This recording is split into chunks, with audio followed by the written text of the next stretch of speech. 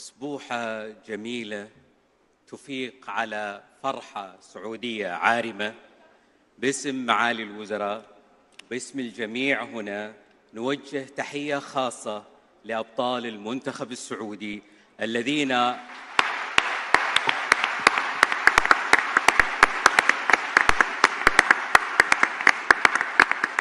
هؤلاء الأبطال رسموا الفرح والسعادة على قلوب السعوديين. تحية مرة أخرى لأبطال المنتخب السعودي.